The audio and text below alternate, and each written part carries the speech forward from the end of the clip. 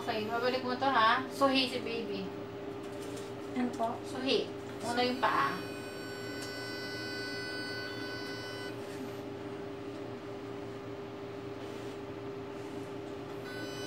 Suhi, tapos naka-Indian sit. Ngayon, yung paa niya nakatago sa pechin niya. Mukhang pek-pek pero nakaganon yung paa. Ayun yung paa, oh. Ito yung right, ito yung paa. No? Ayan paa. Daliri. Yung ganun. Nandun sakto sa singit. Pero mukhang babae ito. Pero nakatakip na konti, no? So, sorry.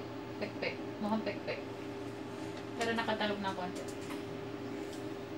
Balik mo next month. Check natin, ha? Kung umikot na. Na siya. Ako na, ako natatapat sa'yo, no? Ako rin yung dati, ha? Okay.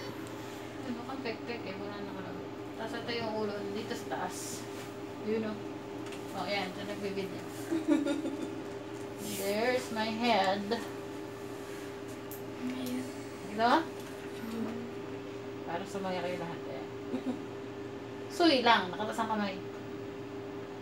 Okay? Heart, no? Very good yung heart.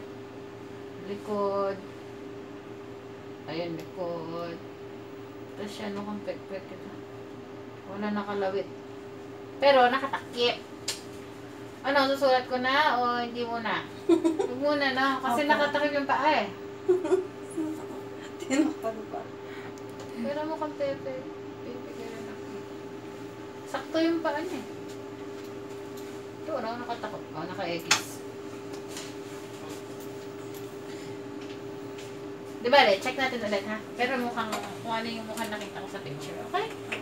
Okay, stand up.